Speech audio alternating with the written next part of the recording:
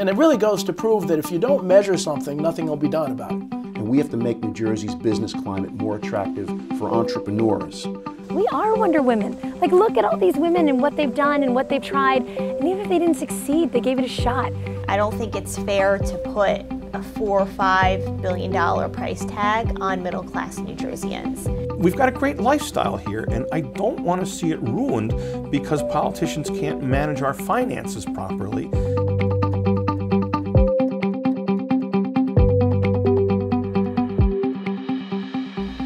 Welcome to As a Matter of Fact. I'm Lisa Allen, and we are filming from the HTTV studio in Summit, New Jersey.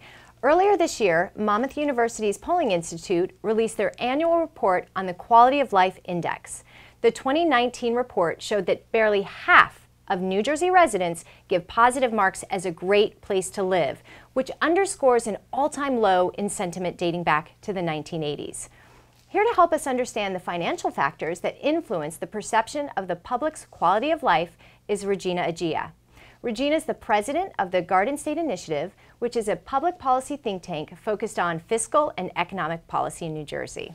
Thank you so much for joining me, Regina. Thanks for having me, Lisa. I am excited to have you because we've talked a lot about the economy in New Jersey, mm. and um, you know I'm a Colorado native. You're a New Jersey native, mm-hmm. so as a kind of a newbie, so to speak, mm-hmm. I've been here about 11 years, and I have fallen in love with New Jersey. I think it is one of the best places to live. You're kind of bracketed in between major cities. You have D.C., New York, um, Boston. You can be at the beach in an hour. You can be in the mountains in an hour. And every person, anyone you talk to, always thinks their town is the best one to live in. You should do a commercial for New I, Jersey, right, right? I really, I love it. And my husband's from here, and I never yeah. thought I would stay and enjoy it as much as I have have. Um, so as a New Jersey native, I can understand why you, you know, you are here, and mm. you have done a lot of work both in private, public, and volunteerism. And so I do want to talk about the quality of life, but I want to hear for you, from you, for the viewers. Tell me a little bit about your background and why you have been in New Jersey your entire life. Sure, sure. Thank you. Thank you, Lisa. Yeah, born, raised, and educated through college in New Jersey. And um, I lived outside the state for a few years, but have come back and raised my family here in the state. And as you just described, you know, the many attributes of the uh, both the physical uh, geography as well as the situation uh, around other cities make it a, an ideal place to be able to expose children and um, have access to all sorts of different um, you know things that we enjoy. Mm -hmm. So it's a terrific state, and um, I want to you know continue to be able to enjoy it with my family. And there are some concerns that I've got that I've been working on, as you mentioned, um, because I think that the, some of the uh, challenges that we have ahead will be opportunities uh, for New Jersey to either continue to prosper and other people will want to enjoy these attributes, or I think we might have some risks. Right. Well, you have a lot of experience. You worked at AT&T as an SVP. You've worked for a governor's administration. Mm-hmm. Can you talk a little bit about your experience in the pri- in the public sector that led you into the public sphere? Sure. As you mentioned, uh, I worked at AT&T and um, went through a pretty classic management program where I worked all over the company in business and consumer and the network as well as uh, marketing and sales and um, most of the time um, out of New Jersey, but also in California and New York. And it was an, a great, um, you know, education from a understanding how, uh, you know, businesses run as well as how to appeal to consumers, you know, and businesses. And at the same time, I was raising a family and living uh, mostly here in New Jersey, as I said.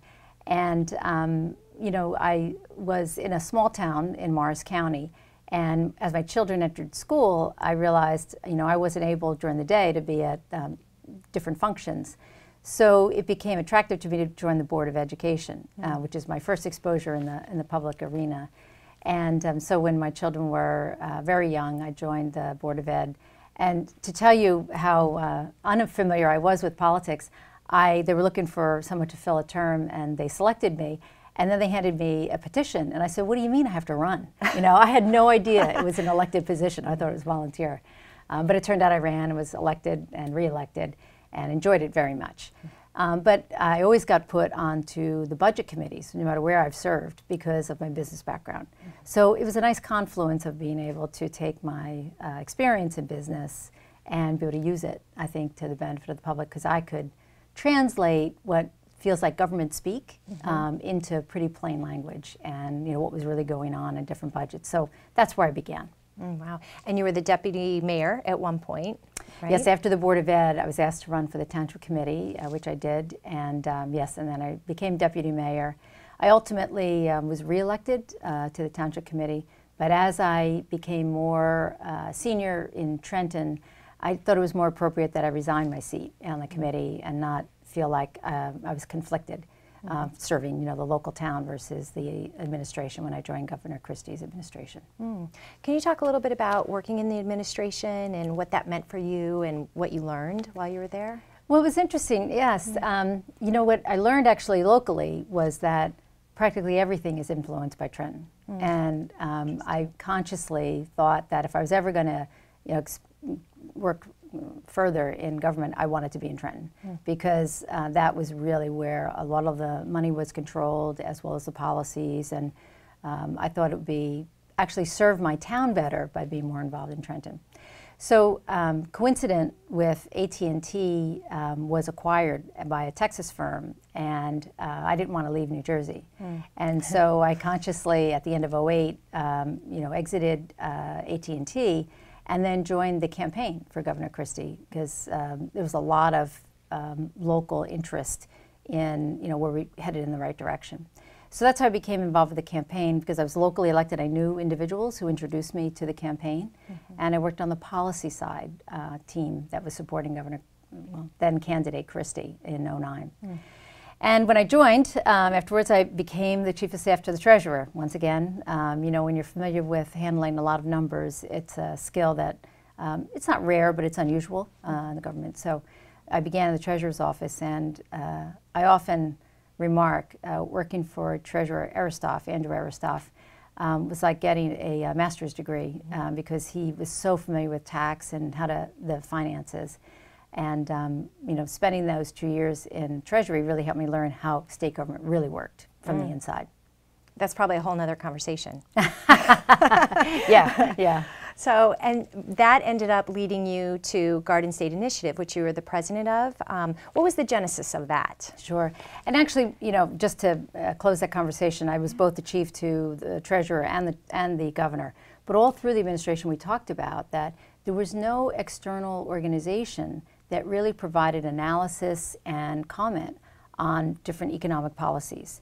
And Andrew, being uh, originally from New York, would say, you know, there are five or six in New York that always give feedback on the budget and the policies, and there's just no one at an economic level doing it. So when I left at the end or the middle of 16, um, I thought that uh, that was an opportunity to really try to see was there an appetite for, and um, you know, was there really the void that we thought was there, and that became the genesis for trying to put together a public policy think tank um, focused on fiscal matters here in the state. What did that look like when you put it together? Was it was it difficult? I mean, you were kind of in that space, so you knew a lot of people, but was it still hard to bring people from both sides of the aisle to support you in your endeavor? Um, actually, I got wonderful advice um, from both sides, um, but particularly from my friends on the Democratic side, in that uh, their advice was number one, uh, it's really not bipartisan, it's nonpartisan. Um, and number two, that if you can stick to economic and economic growth matters, that's appealing to everybody and that's important to everybody. And as long as we're not ideological, which I think we've been able to build that brand that we're not, and really focused on what's best for New Jersey, that we could draw from both sides. And I think so far, so good. That's a great segue. So, what research do you do at Garden State Initiative? Well, it's um, focused, as I say, on the economic matters, and our most recent work over the last nine months has been called Adding It All Up. And one of the questions um, you know, we wanted to answer was to take a step back and you know, most of us see our government in slices. Like we go to, you know, the governor's uh, speech on the budget, or we might go to a township committee meeting, or we see our property tax bill, and we see municipal and education. And we wanted to give people really the big picture. So we added up um, all of the property taxes that are collected, the state budget, federal, as well as the larger authorities. And when you add it all up, uh, essentially we have the we are investing 117 billion dollars every year um, in supporting our public services. So um, what we thought would be constructive would be, since we are really looking for new investment capacity, that instead of only looking, you know, at revenue raisers, to think about could we perform work more effectively and create, you know, make money available to then uh, do the same work but cheaper and have money to then invest in other things. And so we looked at first uh, busing in the schools, and then secondly, most recently, streets and roads. Okay. So let's say, what are the top three factors that influence and could jeopardize the quality of life in New Jersey? Because I feel like there's a lot of things we can talk yes. about. We're a donor state, you know, one of the biggest donor states. We have health care and pensions. So, um, from your perspective, what are the top three that are the biggest challenge to New Jersey? Well, without a doubt, number one is the tax burden, um, and that's really that's not a partisan issue. It's just factual in that no matter what list you look at, uh, cost of doing business, cost of living, property tax levels, we are always in the bottom decile or the top decile, depending upon the list. And so, from a competitive perspective, you know, our society is much more mobile, mm-hmm. and people have choices, and businesses have choices about where they grow jobs. So, without a doubt, the, the tax burden is uh, is primarily, I think, the number one issue. Um, underneath that is then the choices we're making on investments, and I think infrastructure, um, that's why we did the roads and streets. Mm-hmm. You know, how we spend that money in order to fuel the economy is much, you know, I think the primary criteria rather than, you know, distributing money evenly among all counties or making different choices. It ought to be how do we grow the economy um, with infrastructure investments. And then, um, you know, I'd say that uh, lastly, from an education perspective, we have a terrific, you know, education system. Mm -hmm. But as we all know, that's the largest component of property taxes, which I mentioned before. Mm -hmm. But I think in particular, we can look at, um, you know, we rank one or two with Massachusetts in terms of quality of education, but we spend 15% more. Wow. And what that translates when you're spending $26 billion on K through 12 education, that's $4 billion of investment capacity. That's significant. You know, right. Right. That we're spending that Massachusetts isn't and getting virtually the same outcome. So I think we can look at specifically, you know, areas to find investment capacity. So let's talk about that. What are they doing better or different? Like, I mean, are they sharing resources? I know we have 600 school districts. 650. Oh my goodness. All right, it's grown. so, yes. yeah, so can you talk about that? With well, certainly it's the number of districts. Okay. Um, look at Manhattan, you know, they have a dozen mm-hmm. districts, right? And the same number of students. We have 1.2 million students in our K through 12, mm-hmm. and they have 12 districts. Um, now it's ge geographically, you know, different, of course, and transportation different, but um, without a doubt, um, you know, we need to think about how we can more effectively continue to provide the great education. But I think from the oversight perspective, we can consolidate. Um, and I know that that's a uncomfortable word, you know, for a lot of individuals, but you can retain if you really understand what distinguishes the school's ability to deliver education and what is really something that can be done at a higher level. I think it will make people more more comfortable with that idea. You know, I find it it's tough because when you talk about consolidation of school districts, everybody loves their school. Mm-hmm. Everybody loves their superintendent. And so I think it takes a lot of political will and a whole mind shift to be able to switch people into the idea that we would combine. So there's discussion of combining school districts into county mm-hmm. school districts. But how do we get there because I feel like a lot of people don't want to give that up. Part of their quality education is that they can walk to their school or you right. know that it's small. Well, that's why honestly we looked at a function rather than going directly at that point. Mm-hmm. Uh, so what we did is school busing, and if you really dealt with school busing the way Maryland does or the state of Washington does, that you know we could actually just pull that function out, which really doesn't uniquely contribute to your school experience, right? What you care about is that your child is safe, gets to school on time, and doesn't spend more than X minutes on the bus. And if you get those things, then uh, you know you can do it more effectively. You can get uh, costs down and start to save the money that I think we can um, at the at each district level. But you're doing it at a higher level. And I don't know if it's county or state or right. region. I'm not you know advocating for one or the other. But I know that if we can pull out some functions that don't really grow value, you know, for the school experience, I think we'll be better off. Yeah, and it's interesting because I think that people are willing to pay higher property taxes if their education is good, but there is an outmigration problem in New Jersey. And so if there's a conflict in terms of if you have older people staying and they're not using it, that's a good thing. They're not using our schools, that's a good thing. They're not putting a strain on it. But when they retire, they're leaving. And so you have an in, an in migration of young people. But then you also hear there's an out migration of millennials. So I'm not quite sure which it is, but they, the United Van line says Sure, that sure. re- retirement people are leaving for retirement. So can you just shed some light? Like, are people coming in? Are they leaving? Is it the millennials are staying? Are they really leaving? I feel like there's such conflicting information on that. And I don't, you know, I don't Yeah. know. I'll, I'll give you a comment Yeah. Mm. on that, but I don't know that it matters, right? I mean, the, the way we're trying to approach it is, you have to look at how other people are your competitors, right? We're in a dogfight. I mean, to this point, right? We're in a dogfight for both jobs and residents. And we're in a dogfight with the other states. And so what you have to look at is your competitors, Mm-hmm. right? What are they doing? And are they doing anything better than me? I better, you know, get smart quick. And so that's why we look at like how does Maryland do busing, or you know how does Pennsylvania do bridge rapid bridge uh, repairs and renovations to the, the, for the cost of the roads and streets. And so if you can make yourself more competitive, because at the end, um, you know what's going to matter is the cost of living, right? Whether it's driven by the schools or the roads or whatever, it doesn't matter. It's the overall cost of living. And so, uh, to your point now about the outmigration, um, you know, there's indisputable IRS data that shows that on a net income basis, we are losing ground. Um, you can argue about all the reasons why, but the fact is, on a net basis, income is leaving New Jersey. And that means wealth is leaving New Jersey, and that's just a bad thing. And that, you know, if you'll permit me to talk about, you know, and what's happening is a result is our economy is suffering compared to other states. So the most recent GDP growth numbers came out, and New Jersey ranked dead last in terms of growth of our economy. We tied with Maryland for mainland U.S. And what you look at is a you know national average of 3.1 percent, and we were at 1.8. Hmm. New York was at 3.8, right? More than twice the growth rate of New Jersey. Pennsylvania was 2.9.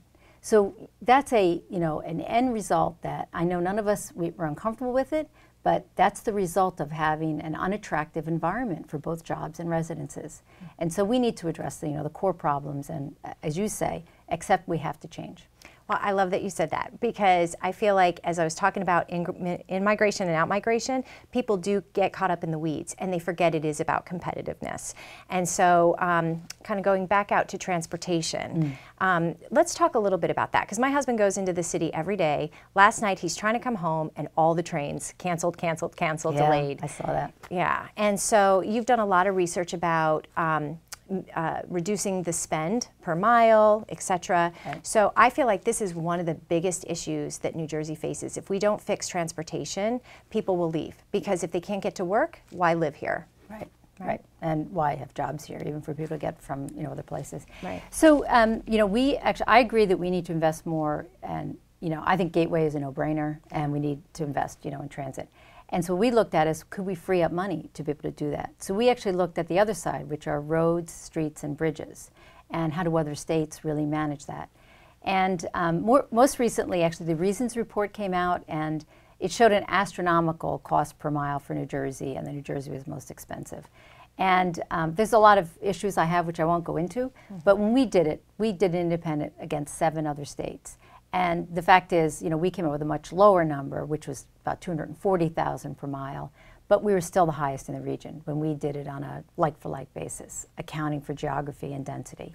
So we are spending more than the seven peer states.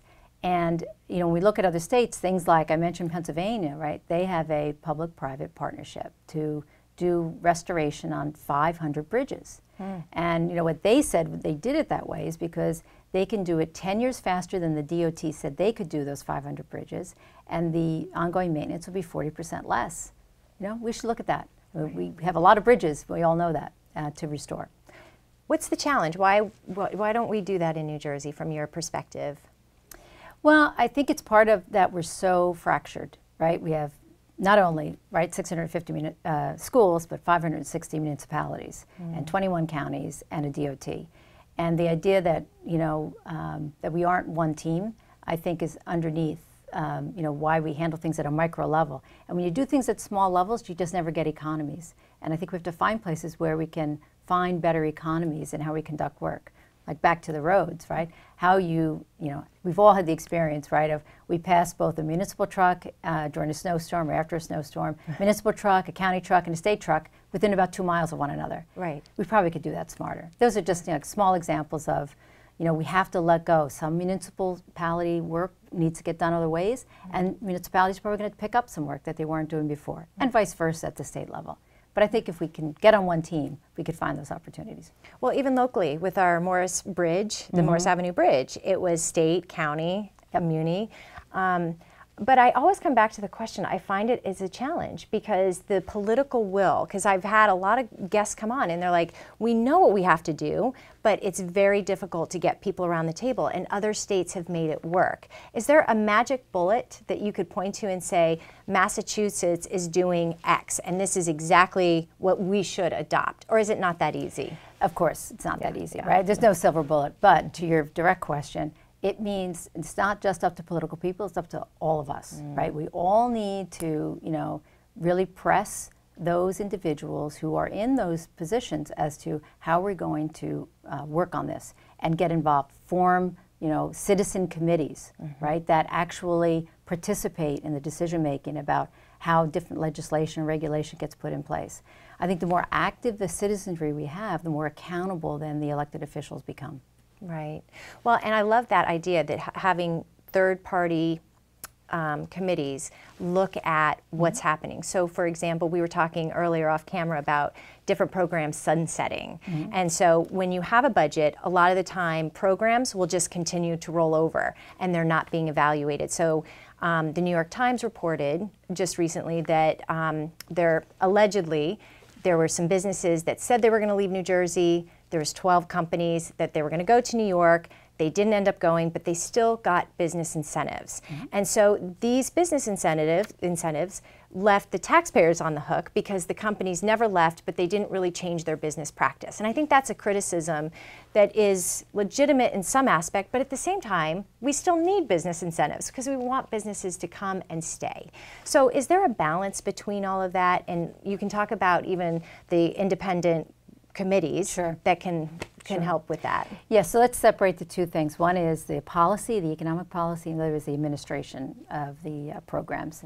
And um, you know, the easier one, uh, the more direct one I'll, I'll address is the administration because, I mean, what best practices are for um, you know other states, according to Pew Research, who looked at all the economic incentive programs around the country, is that these programs should be reviewed. You know, every at least two years, preferably one year and I'll come back to the who should review it. But so frequency and administration, I mean, that's just good business practice. And if there was mishandling or you know misrepresentation, that should be addressed. Uh, all of them were reviewed and approved. So as you say, it's an article in a paper, and I'm sure that that's all going to be you know reviewed on the administrative side. Um, I think people were working in the best interest of the state uh, at the EDA, um, and I, I'm, I'm sure that they'll be you know you know found out to perform the job appropriately. Um, but on the other side, so on the policy side, so economic incentives are really, as I referenced before, right? When you're in a dogfight, you have to have tools that help you win that fight. Economic incentives are one of those tools that level the playing field if we're going to continue to have a high tax rate. So other states have lowered their tax rates. New York's corporate rate is 6%, right? Ours is 11 and a half. So when you're competing with another state, you have to have a tool. Now, I think it'd be smarter to lower the 11 and a half and figure out how to attract jobs at a more fundamental level. But we're going to need incentives. They're in every state. The level is a function of how uncompetitive you are, and that's really what's driving the amount. So, I mean, I, I, I'm indifferent on them, um, but I mean, I I think the reality is you're going to have to have some of them at all times. And the sooner we renew the program, the better. You know, we're sitting now, as we sit here today in September of 2019, with no tools in the hands of the people who are trying to convince businesses to bring jobs here.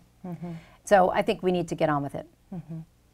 Well, and I think too, uh, I read an article, a statistic that 5,800, and don't fully quote me, but 5,800 wealthy citizens left New Jersey. And so, to your point, if you constantly have your wealth leaving the state, you are taking money away that supports the programs for the people who need it, right? Education, hospitals, et cetera. So, um, I, you know, I feel like you can't totally get rid of business incentives, but we have to find a, a nice Well, level? what you're speaking to is, is uh, a point that's been made recently. So, and that study is from WealthX, um, who, uh, and you had the right number. Okay. So, um, what is really interesting about this whole idea of um, you know tax levels and what it drives in behavior is that uh, Pew actually just did another study, and they looked at how states have recovered since the 08 recession in terms of state revenue generation. Hmm. So, how have we come back to being above or below what the state was generating in 08? And what's really interesting is you see New York has escalated faster than anyone in the region, and they're well above their 08 levels. Hmm. And they've also have a lower tax rate, both at the corporate level and interestingly enough, lower personal income tax rate as well.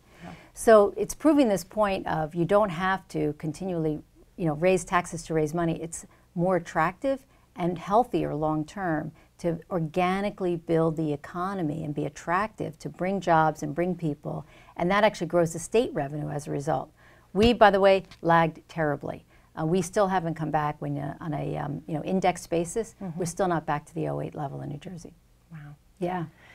So, as we're winding down our 30 minutes already, I want to just recap. So, the quality of life factors that we talked about taxes, um, transportation, um, uh, re- GDP, revenue, these are some of the most critical issues that New Jersey is facing today. And so, if anyone is out there, they should be talking to their legislators who, if they're interested in their quality of life and how to keep you know, their community strong, these are big issues that they should be focused on. Is that right? Absolutely, at, at every level, right? Council, Board of Ed, as well as the state legislators. I mean, they're all we're all part of the, the solution and uh, the opportunity.